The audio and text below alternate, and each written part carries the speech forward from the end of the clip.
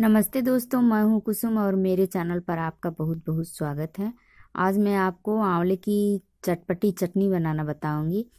अगर आप एक बार इसे बना के रख लेंगे तो हफ़्ते भर फ्रिज से बाहर भी रख के इसे आराम से खा सकते हो।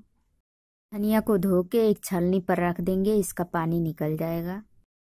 यहाँ पर हमने आठ आंवला लिया है और ग्राम में यह ढाई सौ ग्राम है। तो इसको हमने वॉश कर लिया है। वॉश करने के बाद साफ़ सूती कपड़े से पोंछ लिया है। अब इसे काट लेंगे और इसका बीज अलग कर देंगे। आंवले को काट के हमने इसका बीज अलग कर दिया है और हमें चाहिए एक चम्मच सरसों का पाउडर।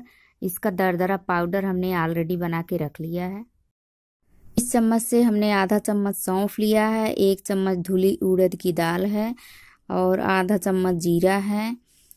और यहाँ पर हमने लिया है पंचफोड़न, अलग से थोड़ा सा ले लिया है। इसमें सौंफ, जीरा, अजवाइन, मेथी सब कुछ मिक्स है। पाँच चीज़ों को मिला के पंचफोड़न बनता है। और लहसुन, इसमें आठ से नौ हरी मिर्च डालेंगे। आधा इंच अदरक का टुकड़ा।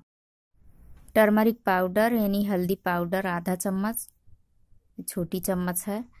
और इस चम्मच से हमने सॉल्ट लिया है, यानी नमक, आधा चम्मच। और थोड़ी सी हींग डालेंगे। अब यहाँ पर मस्टर्ड ऑयल यानी सरसों के तेल को हमने अच्छे से गर्म कर लिया है। अब इसमें लहसुन को डाल देंगे और मिर्ची को हमने दो भागों में काट लिया है, इसे भी डाल देंगे। अब इसमें सभी इंग्रेडिएंट्स को डाल देंगे।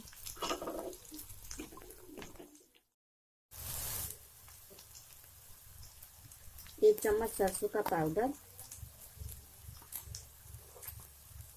उसके बाद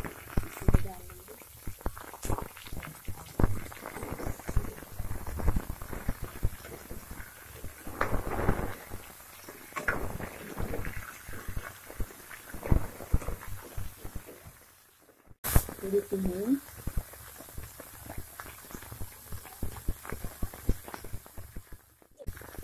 टेस्ट के अकॉर्डिंग नमक भी डाल दिया है। अब इसे अच्छे से मिक्स करके तीन चार मिनट के लिए ढक देंगे और गैस का फ्लेम लो कर देंगे।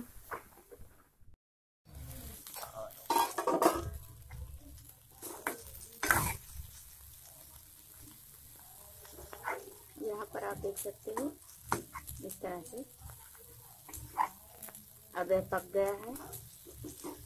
अब गैस अपने माफ़ करके इसे ठंडा कर लेंगे। आंवला ठंडा हो चुका है, चटनी को पीस लेंगे। इसमें पानी की मात्रा नहीं रहती, इसलिए चटनी खराब नहीं होती है। इसे धनिया के साथ पीस लेंगे। धनिया के साथ हमने इसे पीस लिया है, और इसे ज़्यादा महीन नहीं करना है, इसे थोड़ा सा दरदरा ही रखना है। यह चटनी खाने में बहुत ही स्वादिष्ट होती है, इस तरह से आप देख सकते हो। इस चटनी को रख के आप एक हफ़्ते तक खा सकते हो। पूड़ी पराठा रोटी के साथ यह बहुत टेस्टी लगता है। वीडियो अच्छा लगे तो वीडियो को लाइक और मेरे चैनल पर नए हैं तो सब्सक्राइब करके बेल आइकन को ज़रूर दबाएँ। वीडियो देखने के लिए बहुत बहुत धन्यवाद।